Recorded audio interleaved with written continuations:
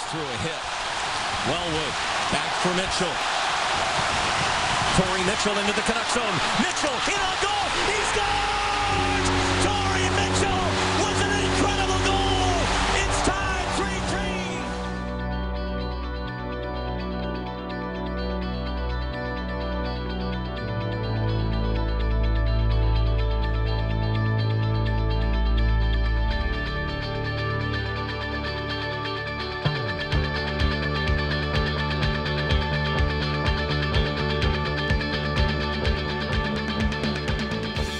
Selwyn House is pretty tight knit.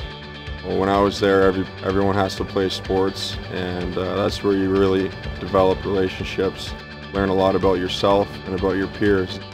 Every student that has gone through knows how difficult the academics are, and it was not easy for me. And I remember specifically we'd have to do these book talks. So on top of all the work, we'd have to read these books.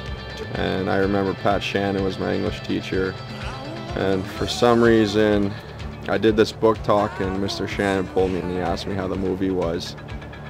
And I said it was pretty good. Looking back on that story, I appreciate that, Mr. Shannon. Certainly, the administration and the board of directors have always been very supportive of our, of our athletics. And uh, I mean, it was very evident when the new gym, and now with the advent of redoing Westmount High School field, uh, the arena is, just a huge step in the right direction. I wish I could be at the gala tonight, but unfortunately, uh, I have hockey tonight against the LA Kings. Uh, I do, however, want to thank the entire Selwyn community for putting on such a fantastic event. Uh, House obviously has meant a lot. to My family, uh, with my father being a retired athletic director and my brother going to the role, and obviously the impact it had on my life. Um, I'd like to thank all the teachers that have had a huge impact on my life. I really grew up there and I cherish all the moments that I had there. I still thank you very much and you have my support.